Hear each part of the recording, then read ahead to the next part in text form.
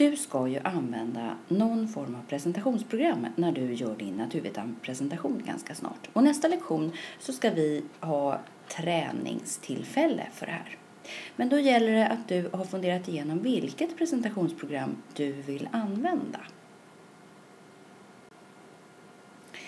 För att kunna välja vad man vill jobba med så måste man ha verkliga alternativ.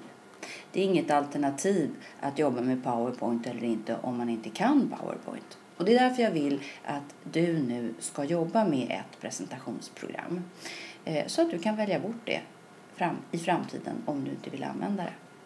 Och jag tänker att det finns två program som är bra att kunna och som du alltså ska välja mellan nu, vilket du vill jobba med. Om du väljer Powerpoint eller Prezi, det är mest en smaksak. Powerpoint, det är rätt enkelt att använda. Det är svårt att få det att bli helt tokigt. Det finns på alla skoldatorer. Det funkar utan nätuppkoppling så man är oberoende av om nätet kraschar eller så. Fast det kan kännas lite tråkigt i längden. Den här presentationen som du ser nu, det är en powerpoint fastän den är helt utan animeringar, det vill säga saker och ting som flyger in och flyger ut. Och det beror på att jag ju har lagt till den här berättarrösten och gjort det som en film och ja, det är en annan sak. Prezi, eh, det är lite klurigare att jobba med. Det är också ett presentationsprogram men det zoomar in och zoomar ut på lite skojiga sätt.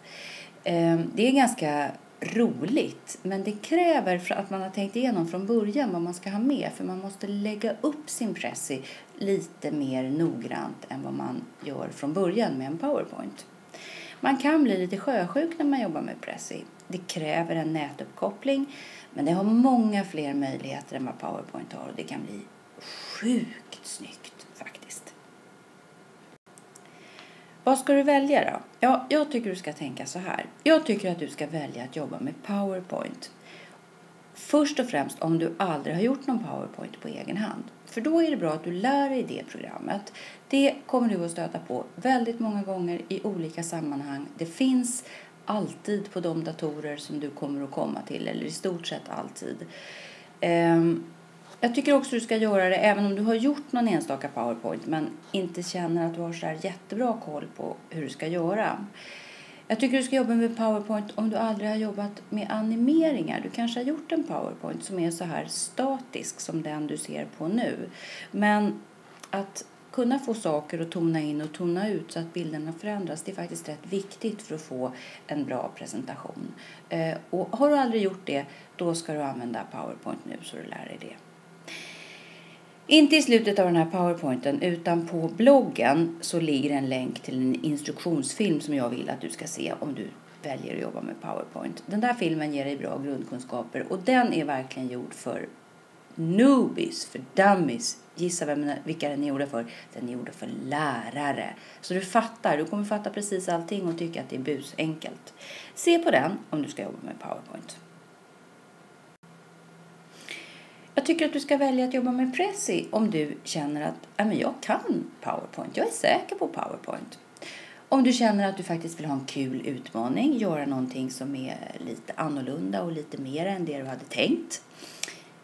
Om du är beredd att lägga ner lite extra tid på att få presentationen att funka bra. För det är ju så när man lär sig ett nytt program. Och min erfarenhet av Prezi, både när jag själv har jobbat med det och när elever har jobbat med det, är att det, det tar lite tid att hitta in till det, fast det är väldigt roligt. I slutet av den här presentationen finns det inte alls en länk till Pressis hemsida längre utan den ligger på bloggen. Eh, och där ska du Eh, gå in på den länken och titta hur det funkar. Det finns faktiskt det finns många bra presses man kan titta på och få en idé om hur man kan göra. Det finns en presentationspress över Pressi också. Och så måste man registrera sig. Pressi är ett sånt här eh, nätverktyg som man registrerar sig för att använda. Och då är det så att det finns ett gratis konto som vem som helst kan använda. Sen finns det ett lite, lite fiffigare gratis studentkonto som man måste registrera för att få använda programmet. Eh, nu var det ett tag sedan jag var inne och tittade där och ibland ändrar de. Eh, men jag ska gå in och kolla och skriver på bloggen om det är någonting som har hänt sen senast. Eh, men registrera ett konto, det måste du göra och det ska du ha gjort till nästa lektion. Oavsett om du jobbar med Powerpoint eller Prezi så vill du ju ha bra bilder till din presentation och då måste du tänka på upphovsrätten. Det är lika bra att vänja sig med en gång. Eh, man får inte använda bilder som inte är fria, inte i något större sammanhang i alla fall. Eh, och då finns det en massa fria bilder, till exempel från Wikimedia Commons eller Fotofinnaren eller Multimediabyrån. Ibland måste man skaffa sig en inloggning för att kunna eh, leta på bildställen och ibland går det bra ändå. Eh, jag har lagt en länk till en lista på bloggen. Eh, en lista över fria fotoställen så att säga, eller bildställen. Det finns också en jättebra film på Elevlyftet, ni vet www.elevlyftet.se om just att leta fria bilder på webben. Eh, ta till dig det, leta där och hitta bra bilder. Ja, nu har du lagt en del tid på det här.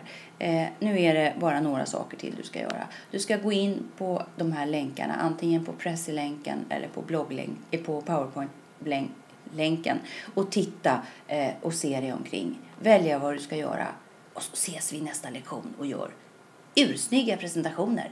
Kul va?